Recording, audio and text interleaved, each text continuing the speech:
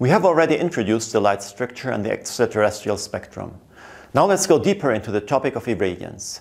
Here we are going to discuss how the extraterrestrial spectrum is altered by the atmosphere and therefore understand the energy quantity and spectrum that solar panels will actually experience at ground level. Then we will explain a new term called air mass that quantifies the amount of atmosphere the sunlight passes through. This will lead us to the AM 1.5 spectrum that plays an important role in the characterization of PV modules. We have used the term irradiance already. Let's now give a formal definition. Irradiance is the power received per unit area from any light source. This is typically given in the units of watts per square meter. Here again is a plot of the extraterrestrial solar spectrum. As we said before, this is a spectrum just outside the Earth's atmosphere, and its total irradiance amounts to 1,367 watts per square meter. For an observer situated at the surface of the Earth, this spectrum changes due to scattering and absorption of the light as it travels through the atmosphere. Here you can see an example of a solar spectrum at ground level, compared to the extraterrestrial spectrum, which is shown in light gray. As you can see, there's a general attenuation throughout the spectrum, leading to a lower global irradiance. In addition, there are several significant dips in the spectrum, mostly in the infrared region. These dips are due to the absorption of light by several gases. Water vapor, carbon dioxide, and a combination of both are the most significant. As a result, the total irradiance is reduced from 1,367 watts per square meter outside of the atmosphere to 900 watts per meter squared at ground level. The change in the shape of the spectrum is reflected in the changing spectral composition of the sunlight. Outside of the atmosphere, the visible part of the sun irradiance represents about 48% of the total power of the spectrum. The infrared 45.6% and the ultraviolet comprises the remaining 6.4%. At ground level, these shares change slightly.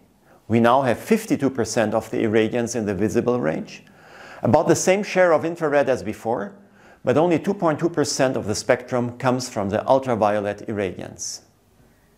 This example shows the spectrum of specific atmospheric conditions, a particular sun position, and the specific altitude of sea level. The solar spectrum will vary depending on these conditions. To explain this further, we will use a concept called air mass. Air mass, designated by AM, is a quantity used to describe how much air the sunlight passes through, normalized to the thickness of the Earth's atmosphere. We'll use a simple diagram to explain this. The diagram is not at all to scale, but serves to demonstrate the concept. The green area represents the Earth's surface, while the blue area represents the atmosphere. An observer standing on the surface of the Earth at sea level and having the sun directly overhead would receive a ray of sunshine from the sun whose path would look like this. When this ray travels through outer space, not much will happen to it. So we are only concerned with the part that is actually inside the atmosphere where there is scattering and attenuation. We are going to refer to this distance as the reference optical path length. The position when the sun is directly overhead is also called zenith. If you picture the sun away from the zenith in some other arbitrary location, the sun path will be quite different. Again, we only care about the portion of the path that goes through the atmosphere. The ratio between actual optical path of the sun's rays and the reference path is defined as the air mass.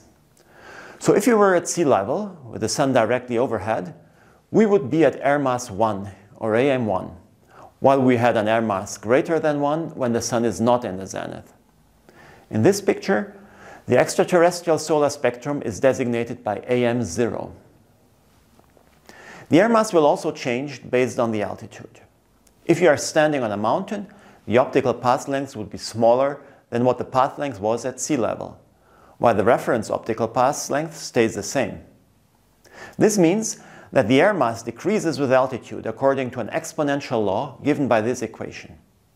From this equation, you can see that at 7,800 meters of altitude, there is 1 over E, or 37% of air above our head relative to the air at sea level. To get the air mass, we have to divide this quantity by the sine of the sun's height, where sun height refers to the angle between the horizontal plane and the sun's rays. An air mass of 1.5 or AM 1.5 has a special significance because it is used as a standard in photovoltaic engineering. AM 1.5 occurs when the sun height is 42 degrees and there is a clear sky. The standard also assumes that the plane of incidence is tilted at 37 degrees towards the sun. With these conditions, the total irradiance is 1000 watts per square meter. The AM 1.5 spectrum is shown here. In PVsyst, the modeling of PV modules is based on datasheet values or laboratory measurements.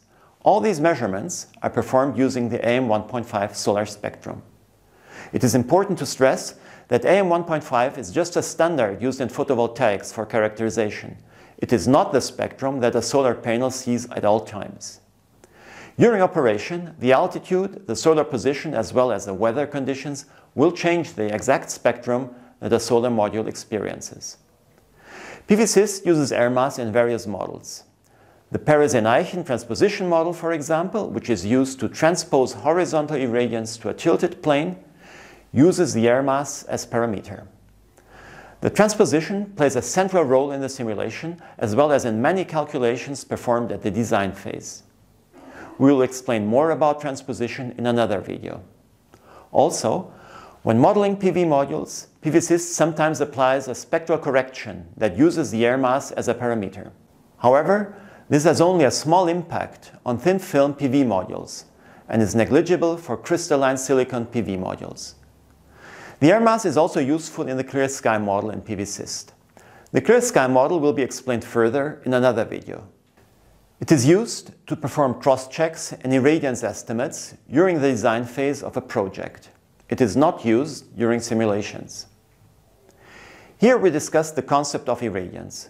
We showed how the atmosphere changes the spectrum and discussed the concept of air mass, which is used to quantify that change. Finally, we showed the AM 1.5 solar spectrum, which is used as a standard for the characterization of photovoltaic cells and modules. With this incidence, irradiance, and spectrum in mind, we can now discuss how to convert this light into electricity using photovoltaics.